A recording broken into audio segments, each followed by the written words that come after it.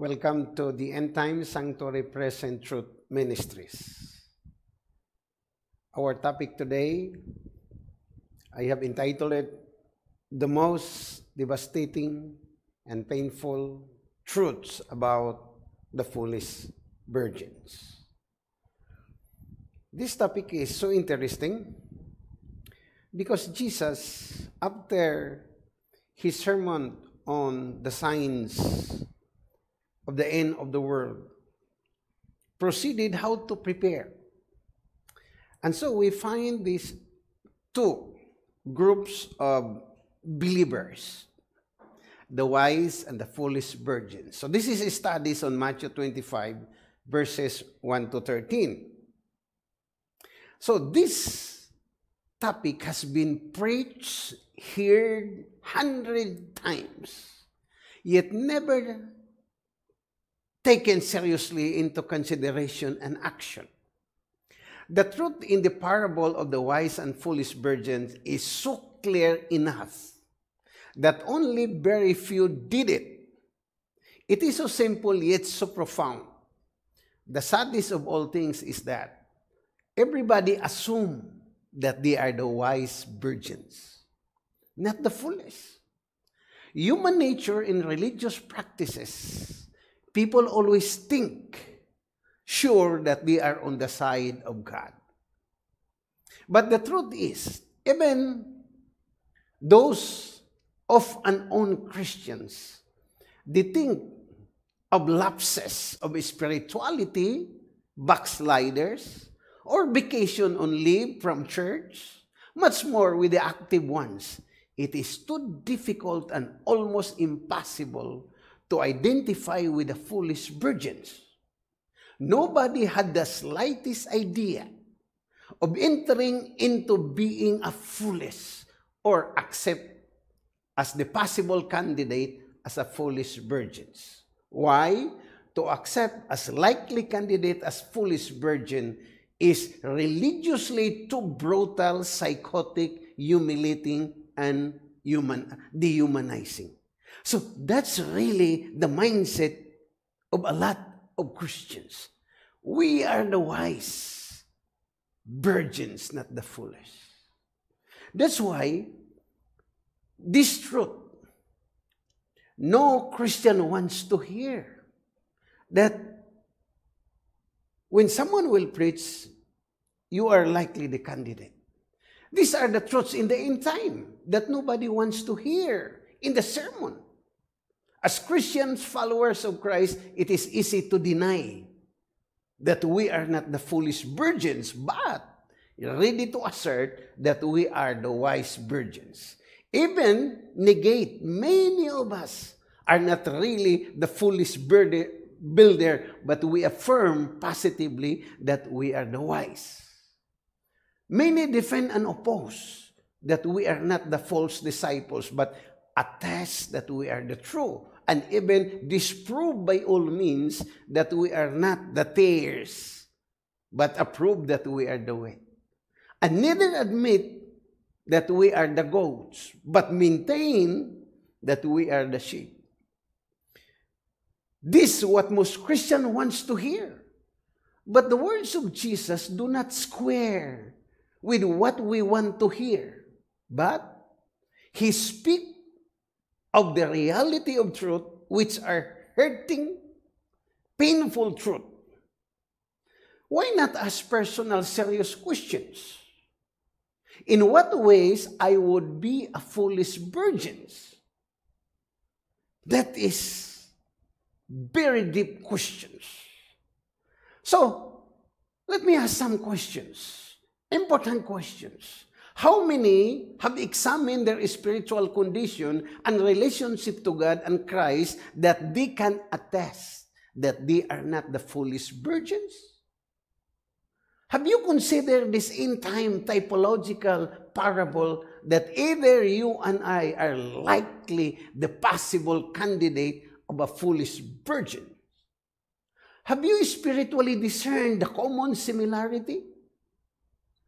And the distinct differences between the wise and the foolish? Have you noticed by experience that sometimes we live and act as wise, but many times as foolish virgins? Have we considered the time and opportunity of beca- becoming more difficult in making personal preparation for Christ's coming? Are you prepared to accept the devastating declaration of Jesus that years of spending life and times in church, he tells you, I do not know you. If not, come with me. Let us study and be ready to know whether you are wise or foolish. Many people who are religious are serious about their feelings and emotions. And so, we are all Christians. Our names are in the church records, books. We attend regular worship services. We give our time and talents and treasure in church. We are involved ourselves in religious activities in doing mission of the church. Then we have the feelings and emotions that all these indicators guarantee our security of salvation. This is the foolish virgin's mindset and attitude. Salvation is not based on feelings and emotions. We are not to rest the idea that because we are members of the church, we are saved. While we give no evidence that we are conformed to the image of Christ, while we cling to our world habits, weave our fabric with the threads of worldly ideas and customs. So we need to understand our feelings is not the criteria and emotions that we are sure. The truth is, is that now the wise and the foolish virgins are now sitting together in church. But one day, there must be a separation forever. Now the wheat and the tares, together growing in the church, but time will come to be separated forever. The true and false disciples together now in fellowship of the church, but angels in the end will separate them forever. And so, even the sheep and the goat now is in the church, in the fold of God. But time will come. They will be separated eternally. And so, even the wise and the foolish builders inside the church are together, but in the end, we will understand that there are really ending of who are really the wise and the foolish builders in the end of time. And so, I want to share with you to study the kinds of fools associated with spiritual things. The fool in Matthew 5 22 in Greek is more, from the word moron, meaning mental deficient, or also intellectual disability. It also means lacking grip on reality. The same term is used in Matthew 25, verse 2, the foolish virgin. So it comes from the word more, moron, mental deficient, intellectual disability, lacking the grip of reality of spiritual things. So, this is also found in 1 Corinthians chapter 1 verse 14, the word foolishness, moria. The significant is that on the context of last the event or it is just before Christ come. So, the full also, the fullness in Matthew 24, 25 is anoitoi in Greek, from anoitos. It's the same word used in Galatians by Paul in Galatians 3.1.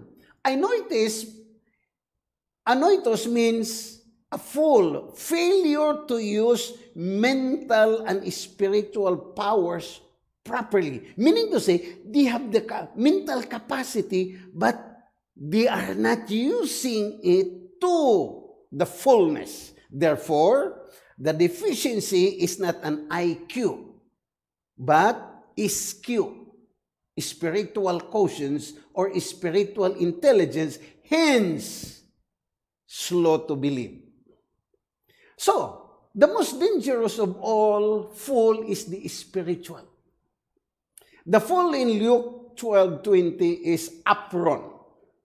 From the word pren means sense, size of things, inner look, discreet. So apron means no sense or senseless, the lack of common sense or no reason, reckless, one of mental sanity and sobriety. The same word is used in Luke 11:40 and 1 2 Corinthians 11:19. Then we look at the false in Romans chapter 1 verse 21 and chapter 10 verse 19. The Greek word there of the fall is asunitos, meaning lack of deep discernment. From the word sonetos, mental intelligence, and sopos means wise, the practical skills or acumen. So anoitos means lack of deep spiritual discernment about reality. So the foolish virgins is the most dangerous. Hence, it is a description of that is too dark, mental deficient reality of spirituality. So let's compare now the biblical understanding of a wise and a fool. Most of them are in the book of Proverbs. The fear of the Lord is the beginning of knowledge, but fools despise wisdom and instruction. That is foolish. Proverbs 1 7. A fool has no delight in understanding, but in expressing his own heart. Proverbs 18.2 The way of a fool is right in his own eyes. But he who heeds the counsel is wise. So there is a comparison between the wise and the fool. And when we understand this one, this coincide to the foolish and the wise virgins in Matthew 25.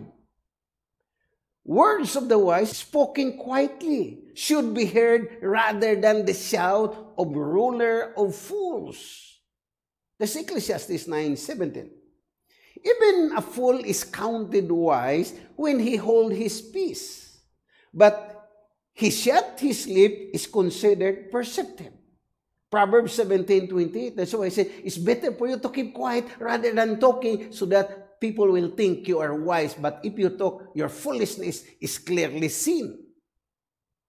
Proverbs 15, 20. 20, 15 verses 20 and 21. A wise son makes his father glad, but a foolish man despises, despises his mother.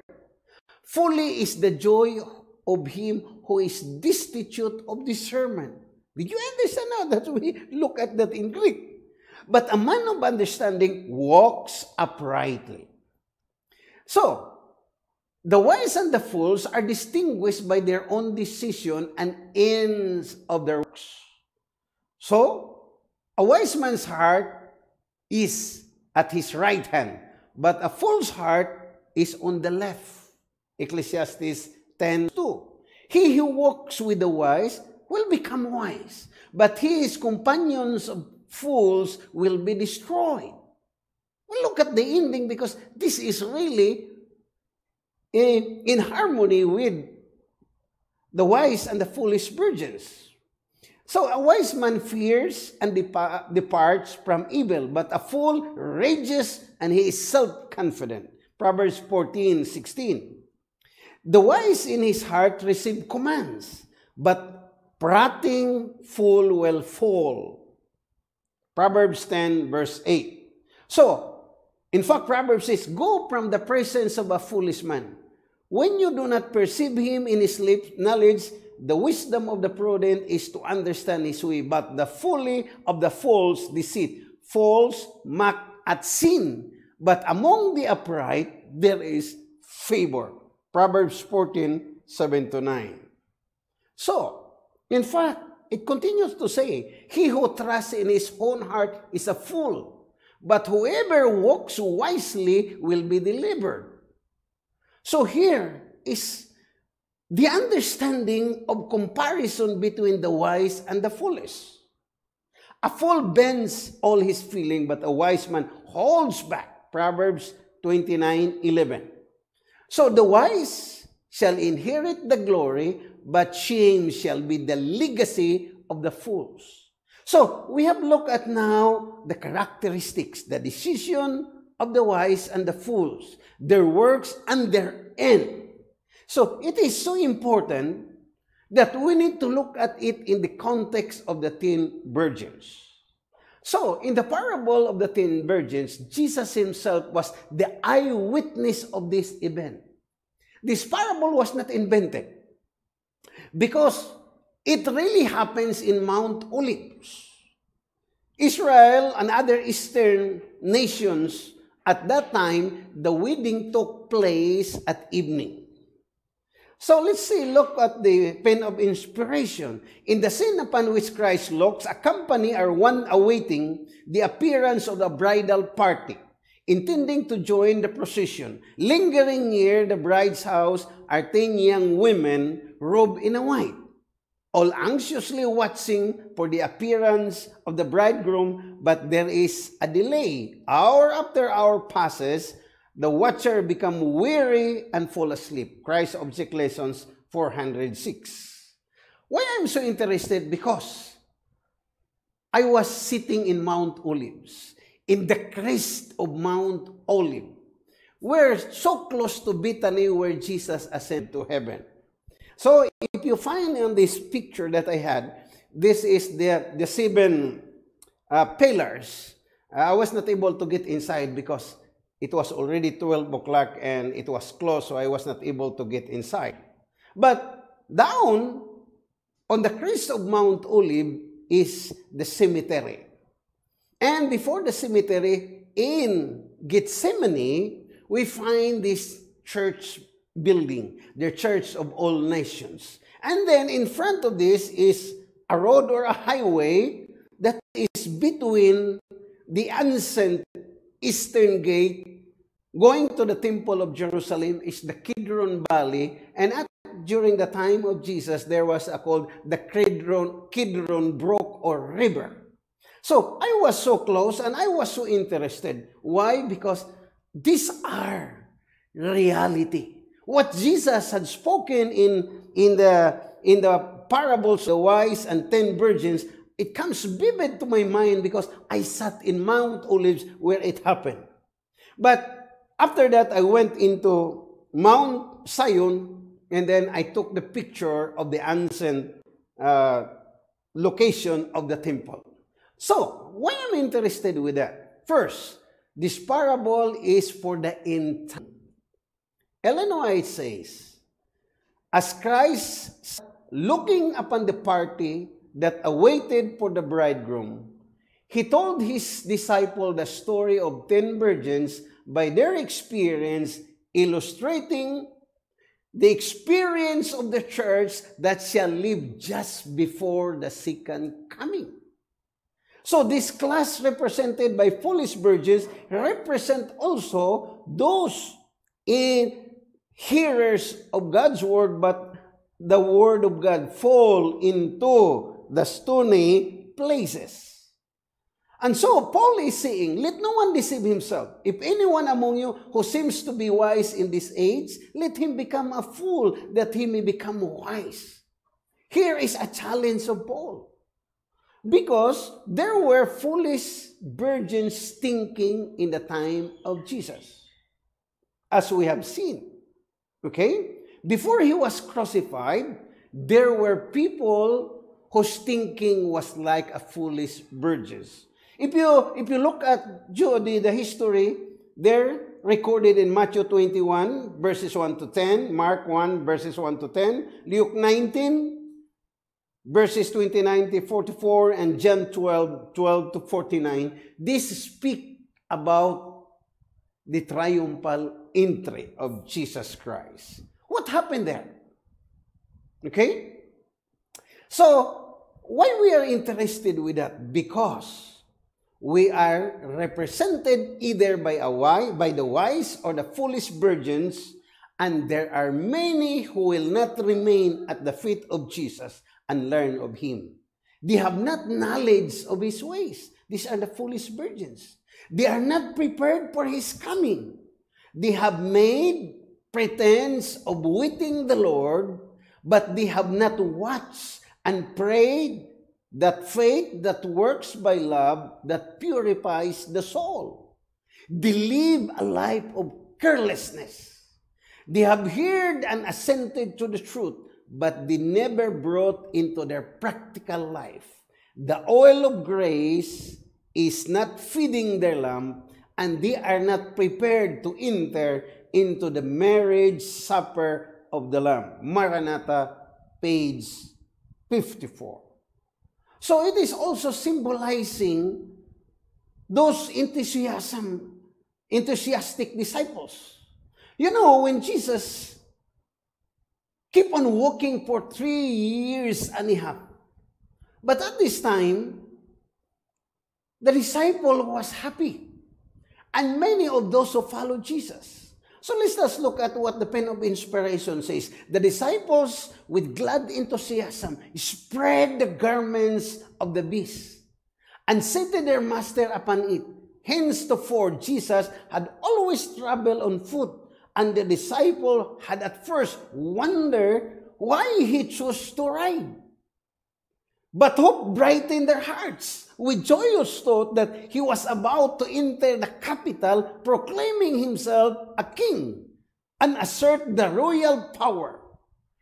While in Iran, they communicate the glowing expectation to the friends of Jesus, and the excitement spread far and near, rising the expectation of the people of the highest pitch. These are which is 570 reason. Because at that particular time, we have understood that an Aaron,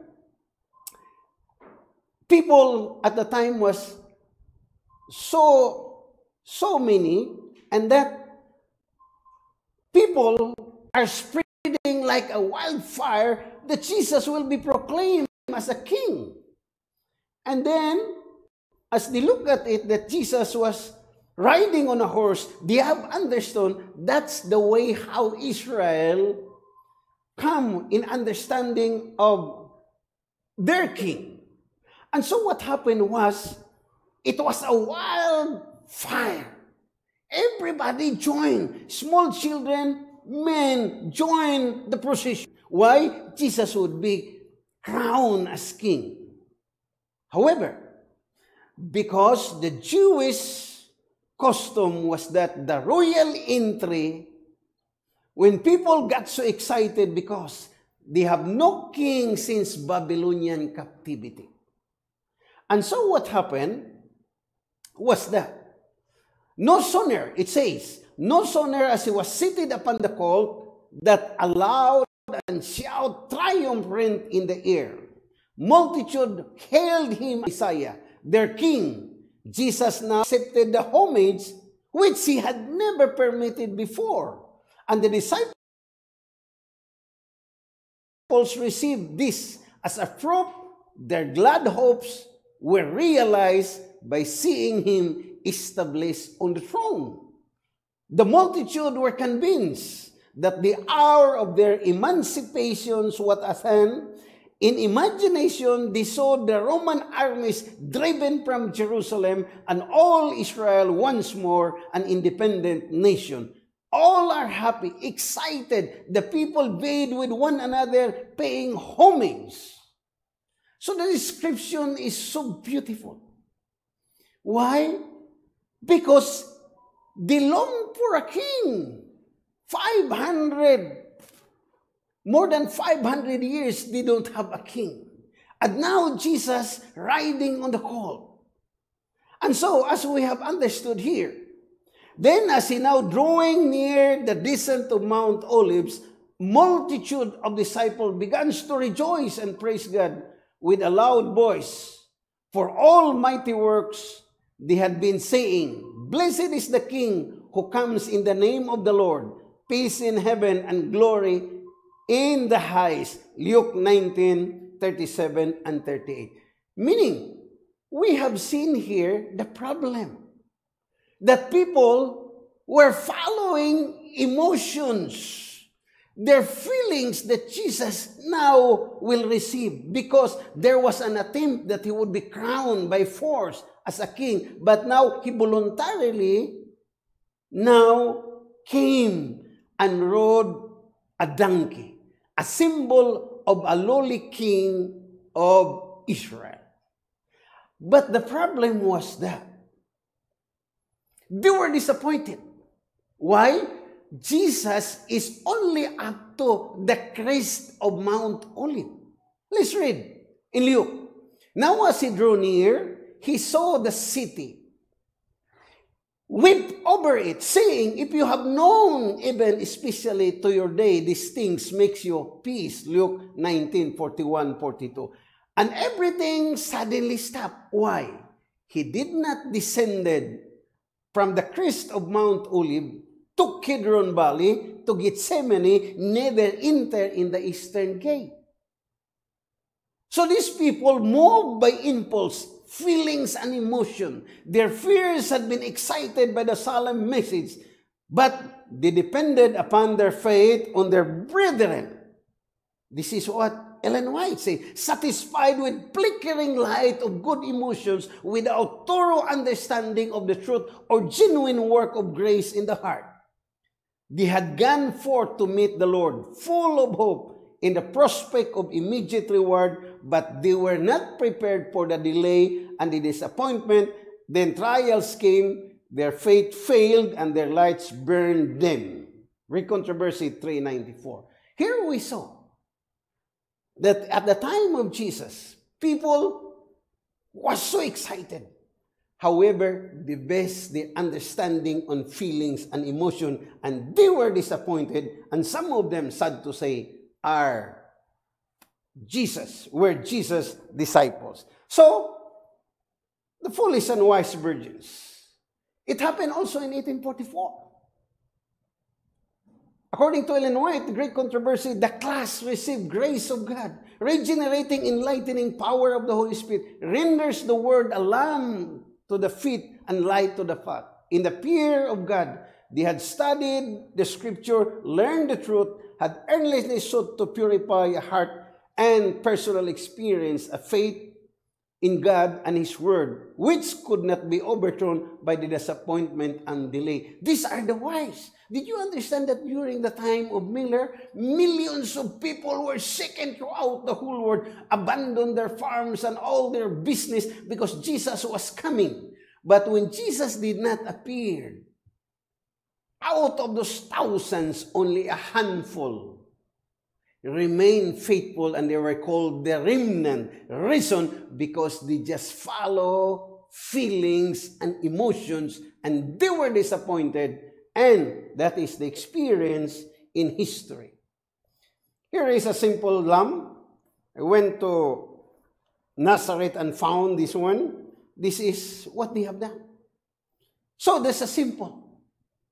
What is what is important here is we need to have a distinct difference understanding between the two.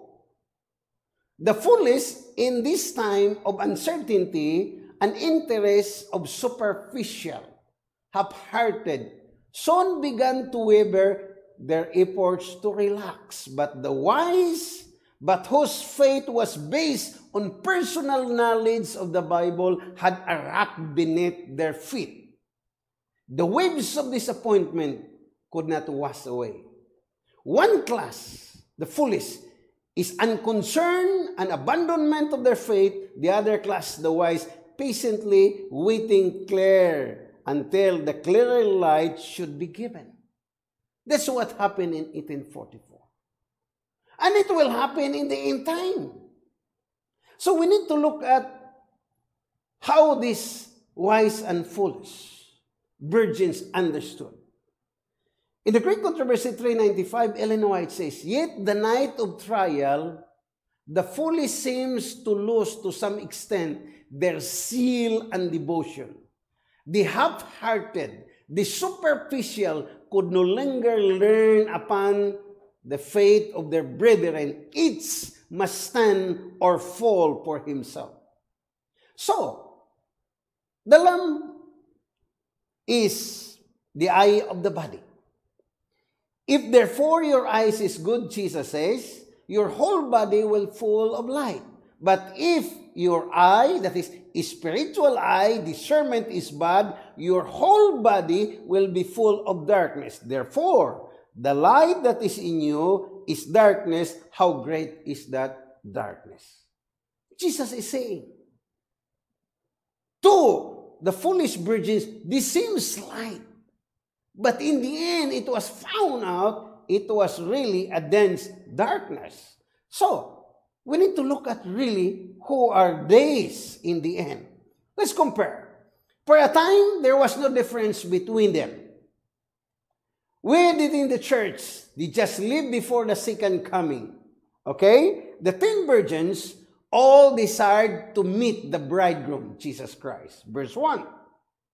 All have lamps and oil. Matthew 25, verse 4. All have trimmed their lamps and all have sleep.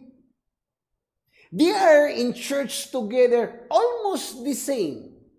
Together they have done the same works of preparation, but the delay, which was to alarm them of what other necessary things to be checked and more preparation. This is especially about the oil of their lamps. Lamps are useless without oil since it was night, meaning difficult time and circumstances. So, what was crucial was the extra oil. The coming was delayed and the time was expected the groom to arrive. He had not arrived. So it was the time when he came when nobody expected because it was midnight, according to Matthew 24, 42, 44, 50. Is really sudden. Christ's object lesson says, all have knowledge of Scripture. All have heard the messages of Christ near coming and confidently expect his appearing, but the five were wanting Five were found surprised, dismayed outside the banquet hall. Christ Object Lesson 410. So, the ten virgins are watching in the evening of earth history. All claims to be Christians. All have a call, a name, a lamb. All profess to be doing God service. But a time of waiting intervenes. Faith is tried. they are not ready. They have no oil in their vessels with their lamps. They are destitute of Holy Spirit. Without the Holy Spirit of God, a knowledge of His Word is of no avail. Without enlightenment of the Holy Spirit, men will, disting- will not distinguish between truth and error, and they will fall under the masterful temptations of Satan. This class represented by foolish virgins are not hypocrites. They have regard the truth. They have advocated the truth. They are attracted to those who believe the truth, but they have not yielded themselves to the Holy Spirit working. They are they have, they have not fallen into the rock of Christ and permitted the old nature to be broken up. So the foolish virgins represented by that who received the word of God but fail in assimilating its principle, influence is not abiding. The Spirit works upon man's heart according to his desire and consent in implanting him the nature. But this class, represented by a foolish virgins, had been content with superficial work. They do not know God. They have not studied God's character. They have not held communion with Him. Therefore, they do not know how to trust, how to look and live. Their service to God degenerates into a form or formalism.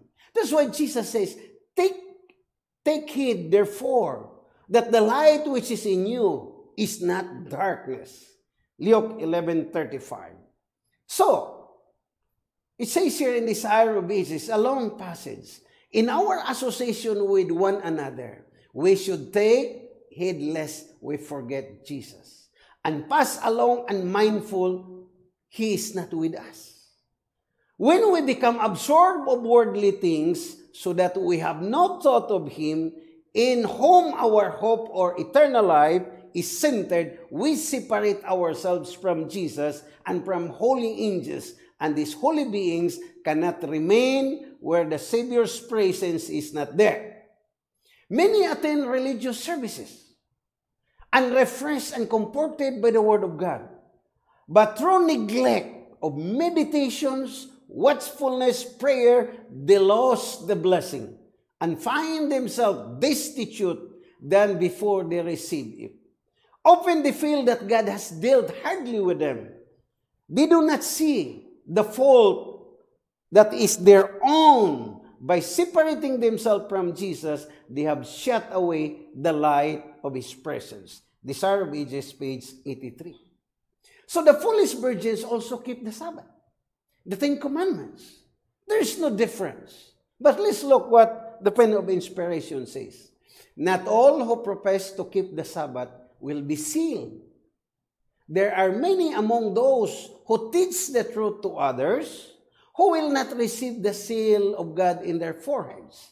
They had the light of truth. They knew the Master's will. They understood every point of Adventist faith, but they have not corresponding works.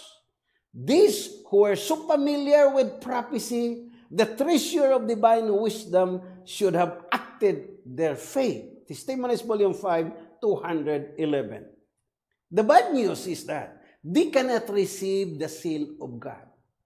The complacent, the careless Sabbath keepers, here is a warning the class who do not feel grave over their own spiritual declension, nor mourn over the sins of others, will be left without the seal of God.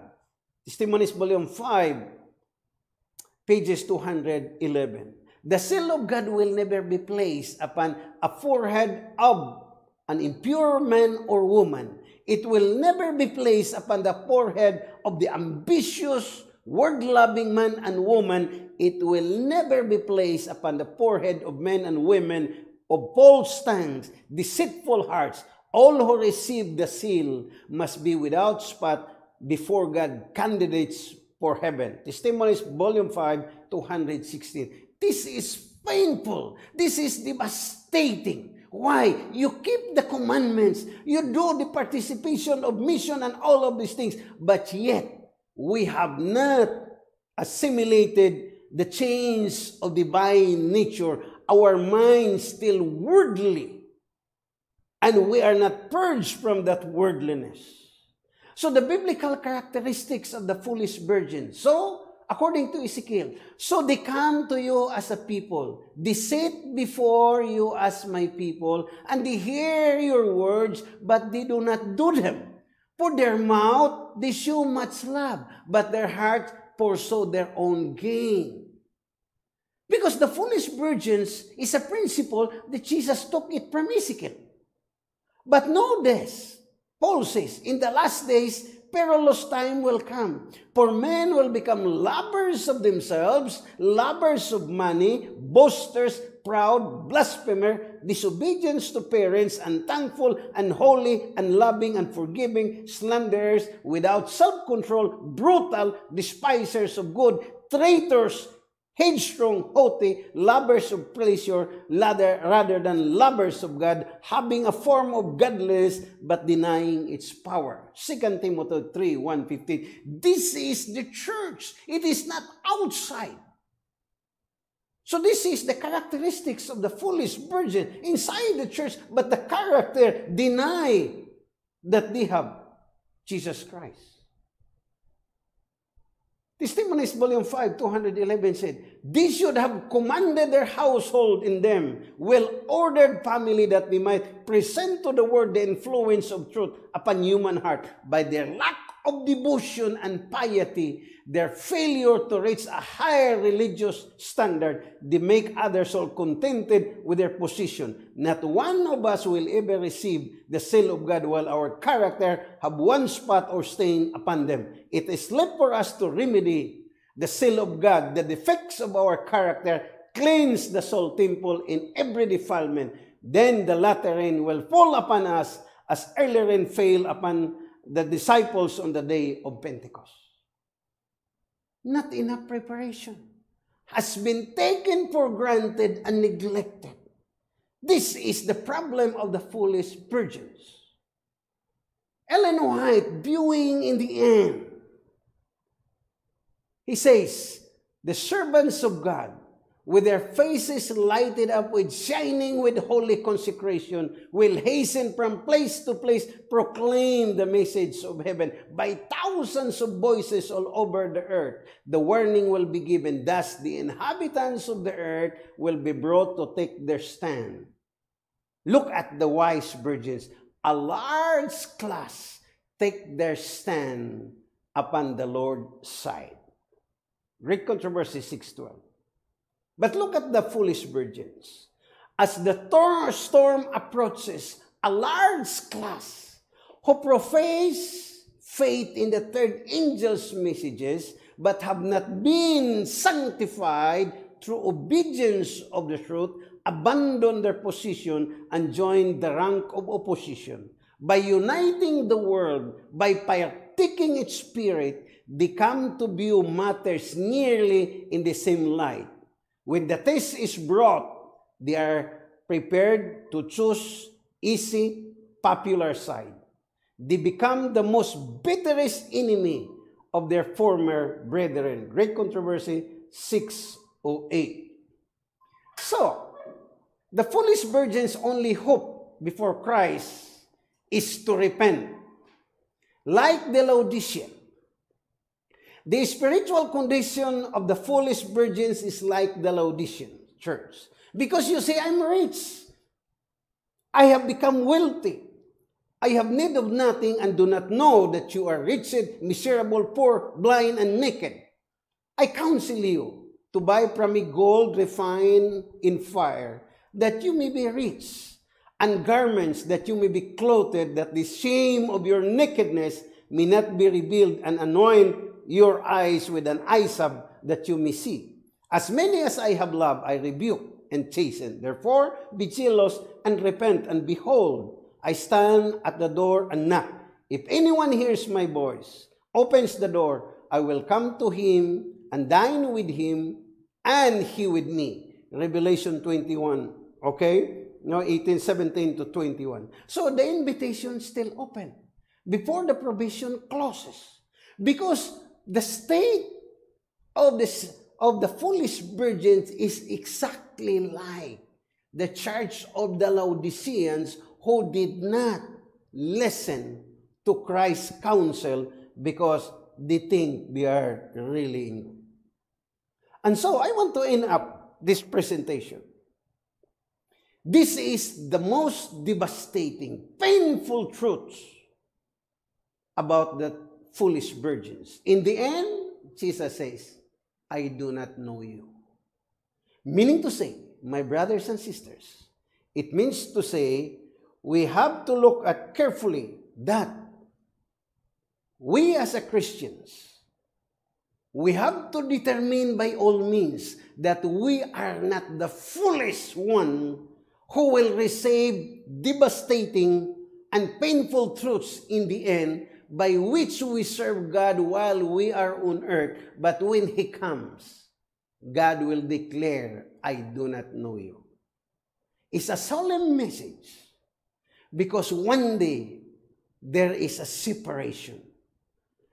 We have presented that in the end time, foolish and the wise will be separated forever. Today, ask personal question. In what ways that I am not the foolish virgins? And in what ways also that I am really the wise virgins? May the Lord bless you as you contemplate the serious matters that bring us in our respective personal destiny in the end. May the Lord bless us. This is my prayer. Thank you.